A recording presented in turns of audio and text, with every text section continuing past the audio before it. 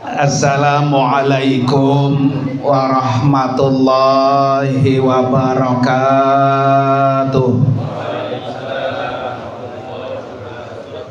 Bismillahirrahmanirrahim. Alhamdulillah Alhamdulillahilladzi faradal hajja wal umrata lillah Ashhadu an la ilaha illallah wahdahu la syarikalah Wa ashhadu anna sayyidana wa nabiyyana Muhammadan abduhu wa rasuluhu la nabiyya wa la rasula ba'dah. Allahumma fasalli wa sallim wa barik ala sayyidina Muhammadin wa ala alihi wa ashabihi ajma'in amma ba'du.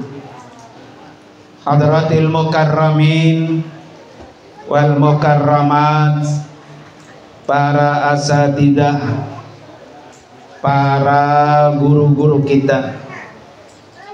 Wabil khusus yang sama-sama sangat kita muliakan seluruh rombongan tamu Allah dan tamu Rasulullah di bawah karom ya, kepala rombongan yaitu Al-Mukarram Al-Ustad Dadang Hawari MPD beserta keluarga.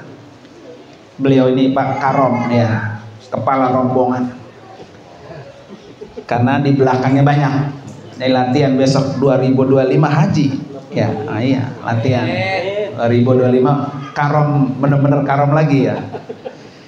Kemudian juga yang sama-sama kita hormati guru kita Mukarram Bapak Ustadz Haji Salim Bontong guru kita Mukarram Bapak Ustadz Kiai Haji Abdul Ghafur Rauf MPDI guru kita Mukarram Bapak Ustadz Dr. Andes Hamidi Mahmud guru kita Mukarram Bapak Ustadz Haji Asisuddin Bapak Ustadz Haji Nur Hasan Bapak Ustadz Toha dan para ustadz-ustadz yang lain para jamaah walimatus safar para bapak dan ibu hadirin dan hadirat sekalian yang dimuliakan oleh Allah Subhanahu wa taala. Malam ini alhamdulillah walaupun sudah di detik-detik terakhir Pak ya. Saya selalu bilang sama jamaah kalau ratib jangan di ujung Pak. Ya namanya jamaah susah Pak ya. Di ujung banget baru pada apa?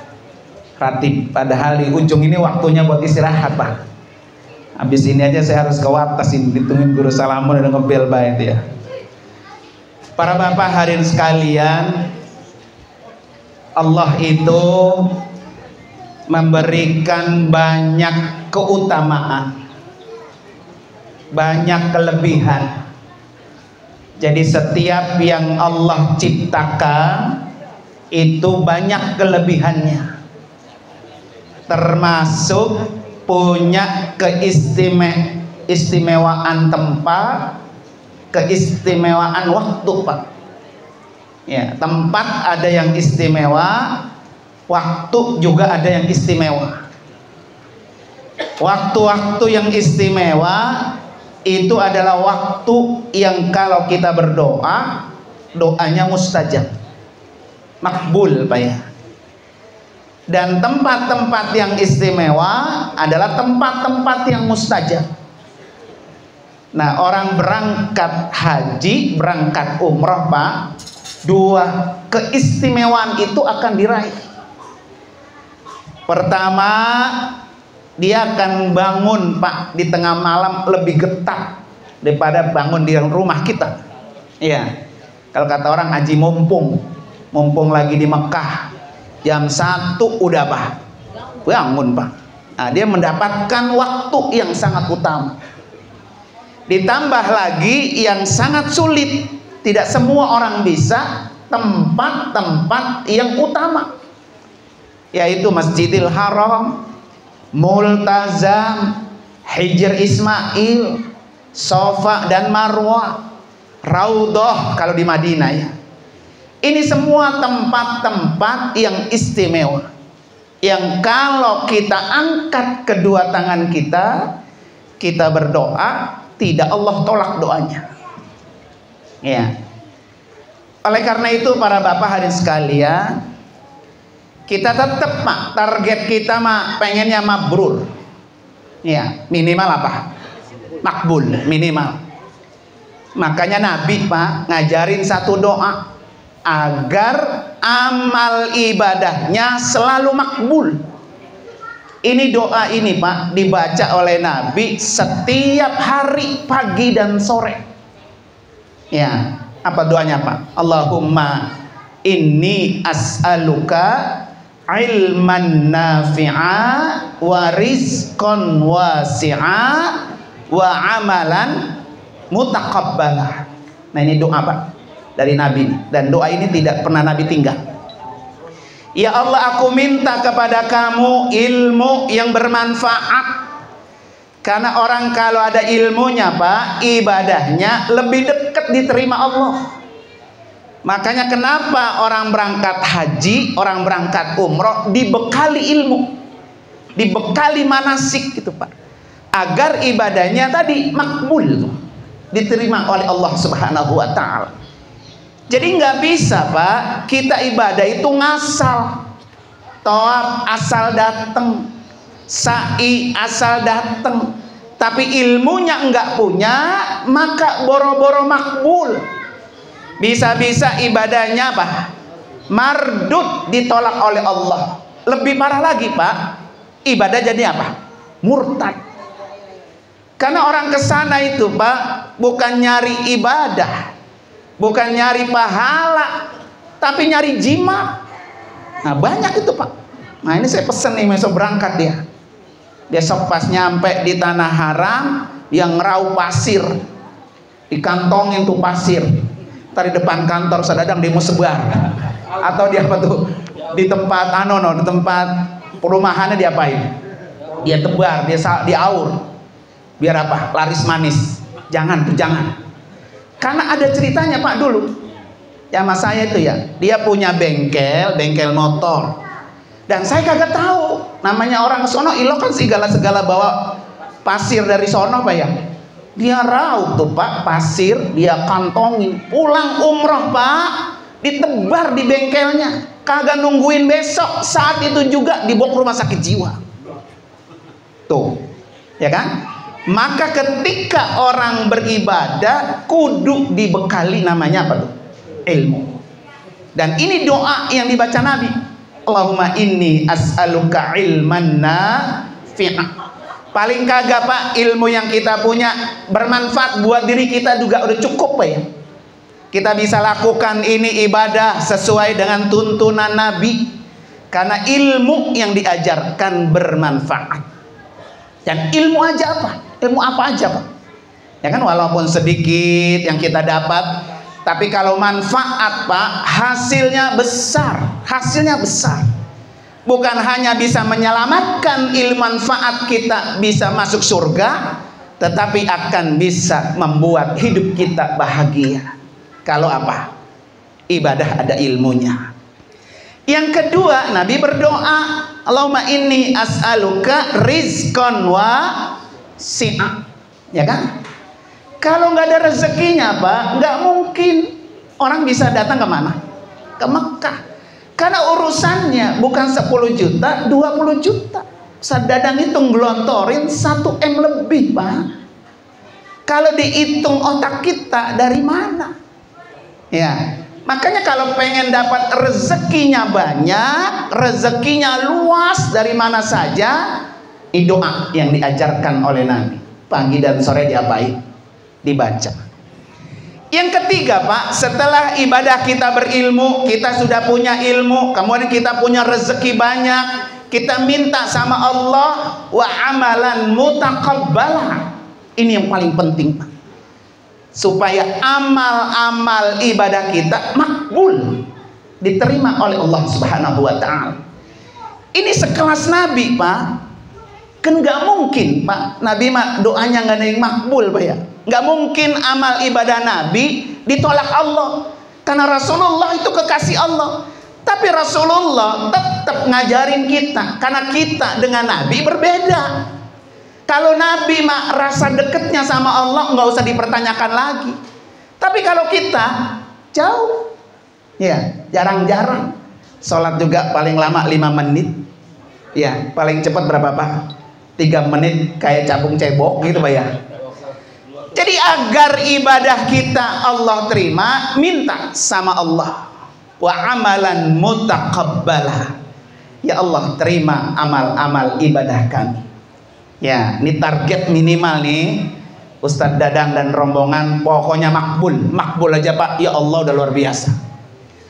Syukur-syukur saya katakan ya, bahwa ibadah yang akan kita lakukan targetnya mabrur. Itu yang paling harus kita kejar. Karena itu orang untuk meraih mabur, Pak, itu pekerjaannya berat. Berat. Karena mabur itu, Pak, saat berangkat, saat pulang. Jadi orang mabrur itu bukan di sono doang, bukan. Tapi orang mabrur itu dicek ketika dia pulang. Maka meraih mabrur itu berat.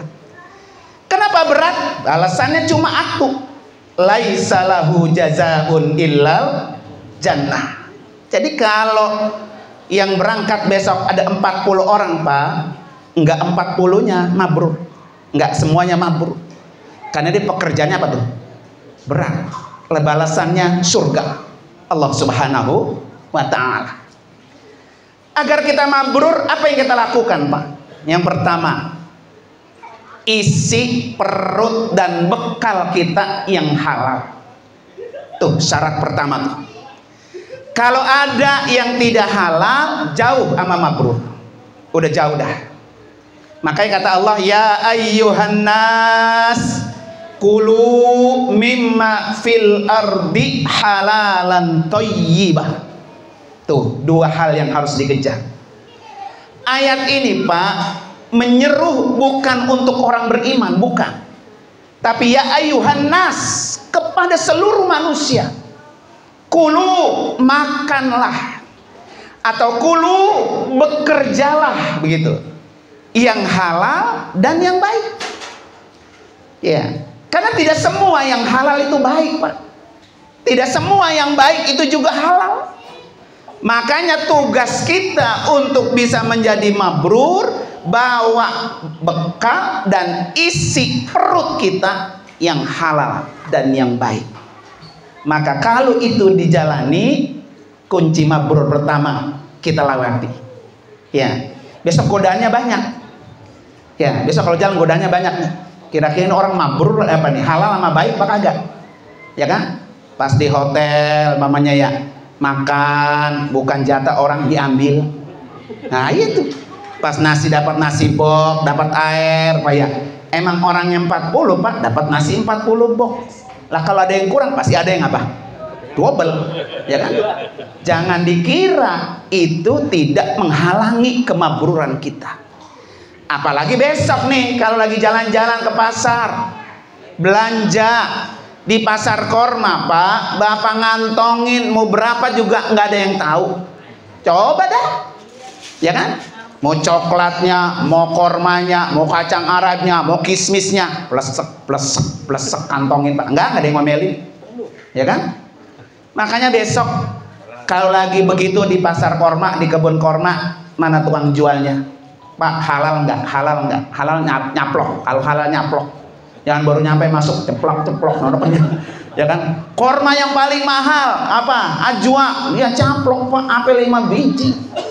Lah dia kan sekilonya 80 real, Pak. Ya, berarti kan satu butirnya itu bisa-bisa apa? Bisa tiga real, Pak. Satu butirnya. Kalau kita caplok, Pak, yang bukan milik kita, dan itu haram kita makan itu yang menyebabkan orang tidak mabrur ya hati-hati tuh.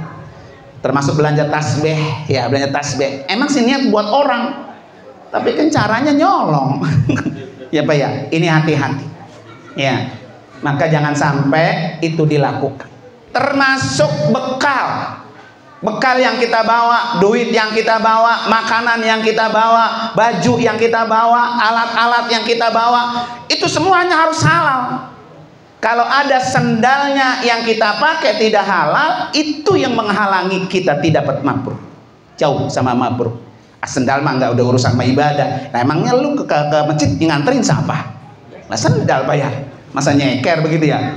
Jadi kalau ada sendalnya, sorbannya yang tidak halal, ini menyebabkan ibadah kita tidak mabrur. Itu syarat pertama. Syarat yang kedua, orang bisa mabrur kata Nabi afsus salam. Cinta dengan kedamaian. Akur sama semua orang. Begitu maksudnya ya. Ama rombongan akur, ama sedara akur, ama tetangga kiri kanan akur. Lah lu pergi umroh ama tetangga aja kagak akur. Ya, begitu namanya ya. Boro-boro dapat apa tuh? Mabrur boro-boro. Makanya kenapa Pak? Al-Maghfurlah guru kita orang mau berangkat haji berangkat umroh diginiin. Musafaha zero zero hubungan kita sama tetangga sama saudara nol. Habis.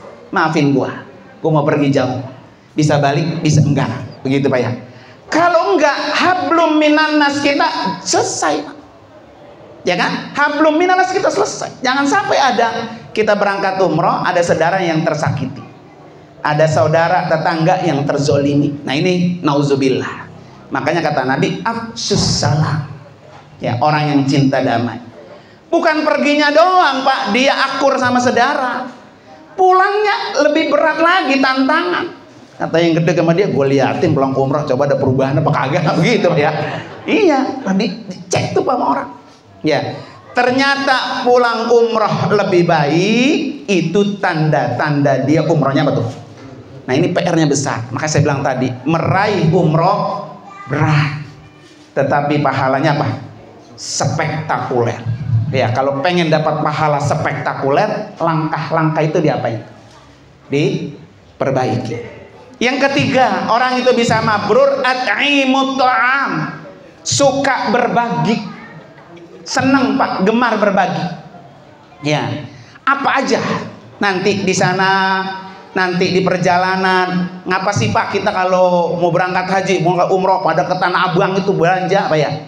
Dalam rangka itu itu mengiringi kita agar ibadah umroh kita apa tuh mabrur bagi-bagi saudara makanya kalau al mukarramah saja haji atikoh Pak beliau kalau bilang apa? Kalau berangkat dulu kan haji sama saya terus ya.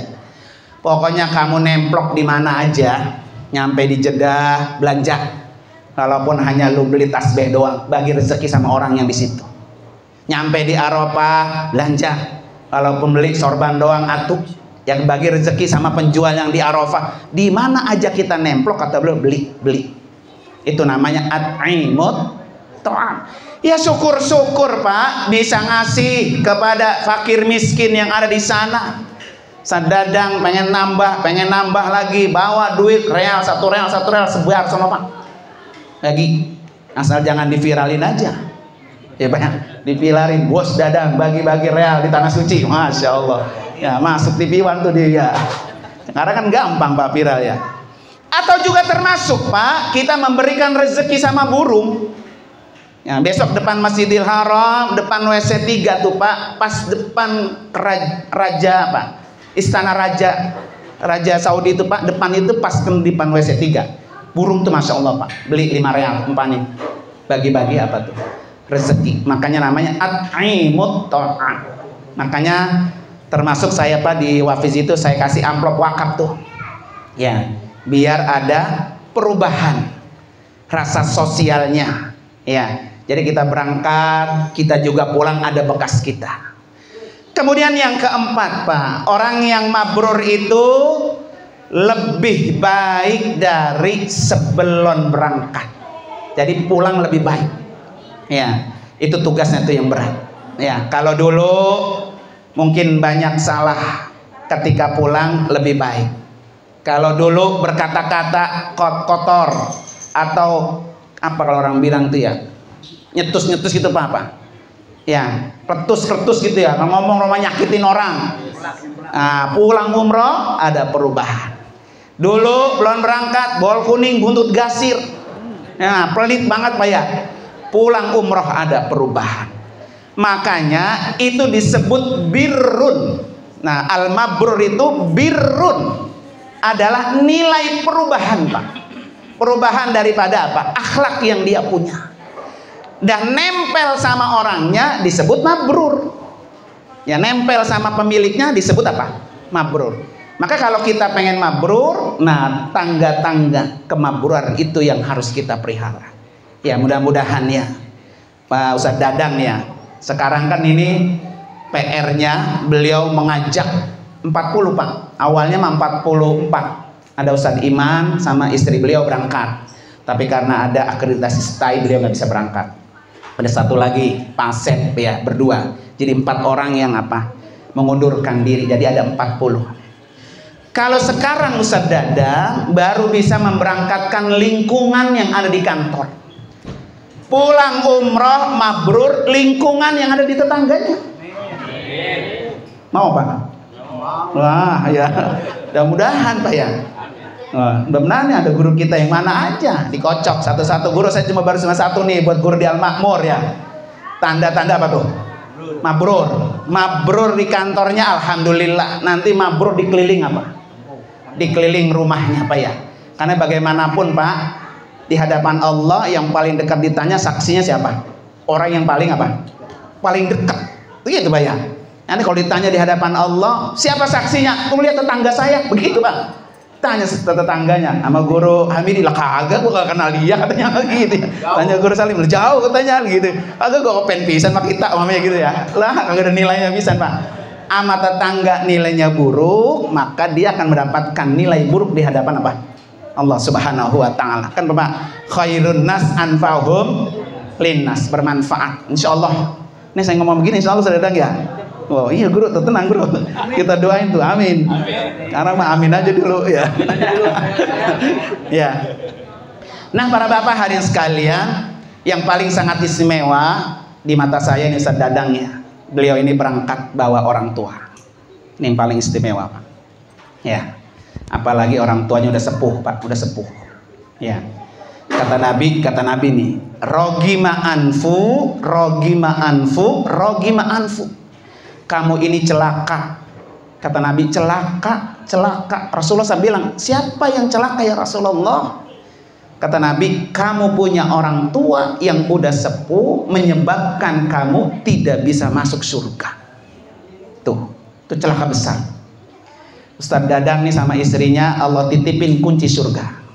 Nih, bawa kunci surga. Kalau besok nih Ibu Hajah Khalilah ya.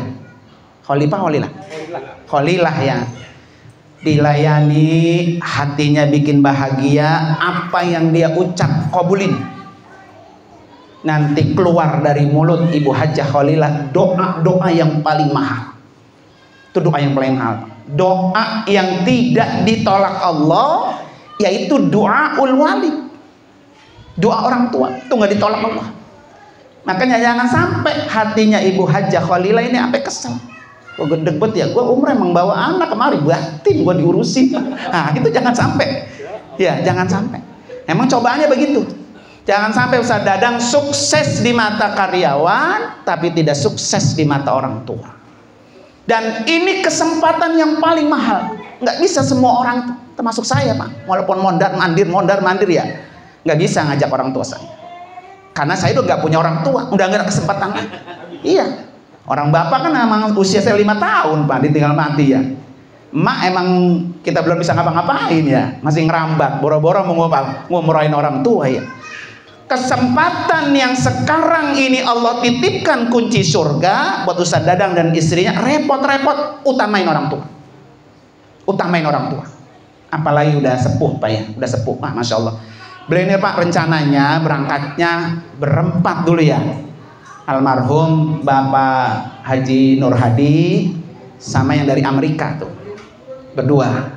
Nah, tapi karena ya Allah punya ketentuannya makanya besok Ibu Haji Khalila ya saya saranin memang kemarin umroh pertama didorong biar beliau tetap sehat tenaganya nggak keluar umroh kedua nanti kalau mau didorong lagi niatin buat siapa almarhum suami Jadi Ustaz Dadang berangkatin yang hidup orang tua, berangkatin juga yang mati. Ya, yang mati di alam kubur almarhum Bapak Haji Nur Hadi gembira, senang. Jangan kaget Bu Haji Khalila besok kalau Bapak Nur Hadi datang. Iya bener. Empoh hari guru Kohar nih ya, bininya umroh sama saya ya. Kata guru Kohar, guru, apa katanya? Guru badalin umroh begitu ya. Akhirnya saya badalin pak. Paginya saya badalin malamnya dia datang tuh guru kohar. Ngelongok bininya. Kata bininya saya kakak ngapain? Dia kan manggilnya kakak malah ini mah kakak ngapain? Saya lagi umroh kak. Senyum doang senyum. Senyum gitu. Pertanda kiriman umrohnya apa tuh sampai ya Bu Haji Khalila besok ya ya syukur-syukur Bu Haji Khalila sendiri yang badalin nih pak walaupun kayak gini nih kaki sakit-sakit dengkul sakit-sakit jalan juga dipayang-payang ya saya umrohin buat Bapak ya. Nanti kita ajarin Pak ya. Para Bapak hari sekalian sekarang itu aja Pak ya. Mohon doanya Pak. Perjalanan kami ini sebanyak 79 orang. Saya pribadi Pak, setiap kali bawa orang walaupun mondar mandir, titik kekhawatiran saya Pak besar. Rasa takut saya besar. Tadi guru kita udah bacain doa. Allah salimna mimma nakhofi. Allah selamatkan apa yang kami takuti. Takut Pak. Kenapa Pak takut? Karena orang yang saya bawa beda-beda. Kalau ada pak orang yang dibawa itu pak perut banget pak. Berat, berat itu ada. Romana susah banget itu ya. Sama urusan kagak mau lancar. Ada tuh. Makanya saya setiap kali bawa, mau sedikit kayak pak, mau banyak kayak, punya perasaan yang khawatir luar biasa. Karena urusan manusia pak udah beres pak saya lakukan. Tiket udah sebulan yang lalu, udah kita cetak. Visa udah pada keluar kamu hotel udah di booking sejak sebulan yang lalu. Semuanya udah rapih, Pak. Tapi kita nggak tahu apa yang Allah tentukan buat kita. Maka kata Nabi la yuradul qada illa biddu'a. Ketentuan Allah itu akan berubah dengan kekuatan doa. Makanya malam ini didoakan. Salimna mimma ya Allah selamatkan apa yang kami takutin. Makanya semuanya ya saya pesan, pokoknya jangan ada yang sombong. Kita nggak tahu Pak, Allah takdirkan ke depan apa buat kita. Bisa jadi nggak nyampe umur kita. Bisa jadi sakit. Bisa jadi Pak, hotel yang udah rapi diserobot oleh orang. Ini toh dadang atau lagi berangkat kemarin, begitu. Udah turun Pak ke lobby begini nih, udah nyampe, udah pada ngaso, udah duduk ya. Wah, diserobot. Ini gue nyampe ke gamprit. nauzubillah Pak ya, nauzubillah ya pengen saya pengen pengen mah ya ketika diserobot di upgrade kepada yang lebih apa baik makanya saya pesan banget sama mereka semua tuh Rabbi anzilni munzalan mubarakan wa anta khairul Ya Allah tempatin saya di tempat yang penuh dengan keberkahan itu saya selalu minta tuh ya jangan sampai ditinggal tuh sama satu lagi, Rabbi adkhilni mudkhala sidkin wa akhrijni mukhraja sidkin waj'alli min ladunka sultanan asira. Pokoknya ya Allah tempatin masuknya masuk yang baik, keluar dari daerah itu keluar tempat yang baik. Allah yang terbaik yang nolong kita. Itu doa saya sudah saya kirimin tuh di grup ya dua. Biar dibaca, biar kita semua selamat, Pak. Kalau ada dari 79 orang atau dua aja Pak doanya diterima Allah, ikut semua yang selamat. Ya Pak ya. Makanya saya mohon kepada Bapak-bapak dan Ibu hadirin sekalian terus berdoa ya buat perjalanan kami karena kita nggak tahu. Sekarang itu saja mari sama-sama kita baca suratul Fatihah khusus kita niatkan kepada rombongan pimpinan Ustadz Dadang yang sebanyak 40 orang. Nanti dari yayasan saya itu ada 37 orang. Ya, jadi ada 79 orang yang akan berangkat. Mudah-mudahan lancar semua, sehat walafiat, tidak ada kurang apa pun sesuai apa yang kita rencanakan semua Allah ridhoi. Ala hadiniya al-Fatihah. A'udzubillahi minasyaitonir Bismillahirrahmanirrahim. Alhamdulillahirabbil alamin arrahmanir rahim maliki yaumiddin. Iyyaka na'budu wa iyyaka nasta'in ihdinas mustaqim ladzina an'amta 'alaihim ghairil maghdubi 'alaihim waladdallin. Amin. Terima kasih dan mohon maaf. Hadanallah wa yakum ajmain. Assalamualaikum warahmatullahi wabarakatuh.